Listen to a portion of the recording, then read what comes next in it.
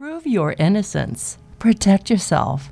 Get a CarProCam. Think of CarProCam as insurance for your insurance. Get CarProCam at Amazon. Everything changes.